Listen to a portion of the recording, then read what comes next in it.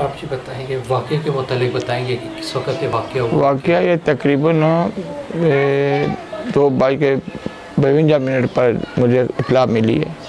بیٹے کی نمبر سے کسی نے مجھے رنگ کی ہے کہ میں نے جب اس سے پوچھا جی یہ جی کیا بات ہے؟ تو وہ کہہ رہا تھا جناب کہ جس نمبر سے رنگ کرنا اس بندے کا ایکسیڈنٹ ہو گیا ہے۔ ہم اس کو اسپتال لے کے جا رہے ہیں تو آپ فوراً اسپتال پہنچے۔ اس کے بعد میں نے یہاں سے پھر وہ کیا پھر اسپتال چلے گئے وہاں ایمرجنسی میں جب پہنچا ہوں تو اسٹیچر پر میرے بیٹے کی لاش پڑی تھی وہاں۔ ڈیڈ باڈی وہاں میں نے دیکھی ہے جا کے۔ اس کے بعد، اس کے بعد پھر ایم ایل سی بنی ہے۔ ایم ایل سی بنانے کے بعد پھر ہم لوگ وہاں سے آ گئے ہیں۔ شام کو پھر کچھ میڈیا کے لوگ آئے ہیں یا چینل والے آئے ہیں۔ یہاں جنہوں نے آ کے نا ہم سے وہ پوچھا، وہ والے کا واقعے کا انہوں نے ان کو پتہ چلا ہے۔ جب ان کو یہ ساری باتیں بتائی ہیں، پھر انہوں نے وہ لیف، وہ کام چلایا ہے۔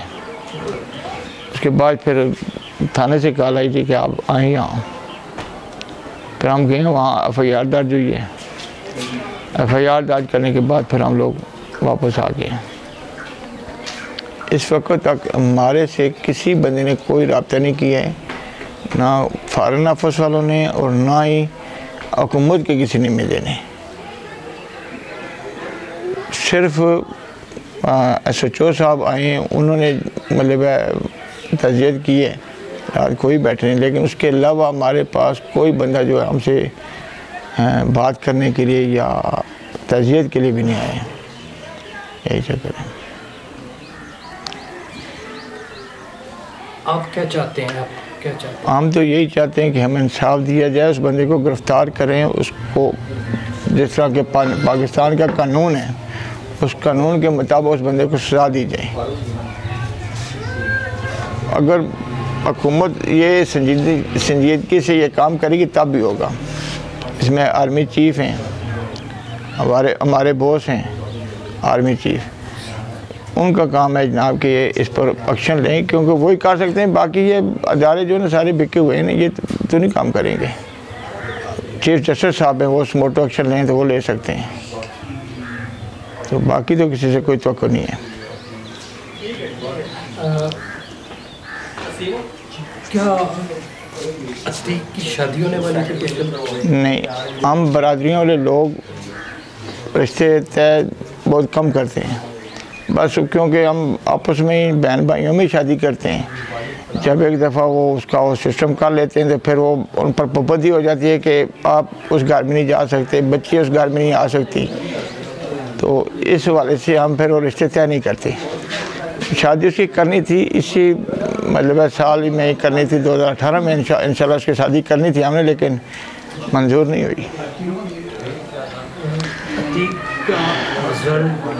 پڑھتا کیا تھا کرتا کیا تھا یہ تفصیل تھوڑی سی بس اپنے ایجوکیشن کے بارے میں وہ پڑھتا رہتا تھا بی اے کا وہ اسٹوڈنٹ تھا لاسٹ سیمسٹر کا اس کا جو ہے نا وہ سسٹم چل رہا تھا۔ پہلے تین سیمسٹر نے پاس کیے ہوئے تھے بی اے کے۔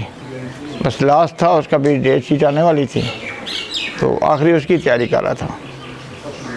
ڈیٹ شیٹ اس کی آ گئی تھی نہیں یہ ڈیٹ کی یہ دو ہزار ستارہ کی ہے پچھلے سال کی ہے۔ اچھا کب تھا؟ ایگزیکٹ کب تھا؟ ویسے۔ اسی مطلب ہونا تھا نا یہی وہ- وہی بتا دیں وہی ڈیٹ شیٹ بتا دیں پچھلے سال کی اس پہ ایگزیکٹ ڈیٹ شیٹ ہے اس کے جیب میں تھی یہ پڑی ہوئی میں نے نکالی ہے۔ لیکن یہ دو ہزار ستارہ کی ہے نا۔ یہ۔ تو یہ اس کے جیب میں ہی تھی پڑی نا تو میں نے نکالی ہے یہ۔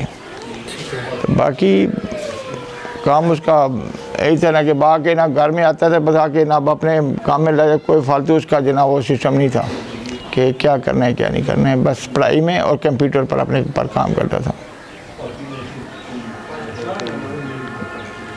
اور اگر انصاف نہ ملا تو کیا کریں گے؟ احتجاج کریں گے ہم۔ احتجاج کریں گے، پورے علاقے کو اکٹھا کریں گے، سارے لوگ ہمارے ساتھ ہوں گے، سب لوگ میرے ساتھ جائیں گے انشاءاللہ۔ جہاں تک ہمیں انصاف نہیں ملے گا، ہم یہ کام چھوڑیں گے نہیں۔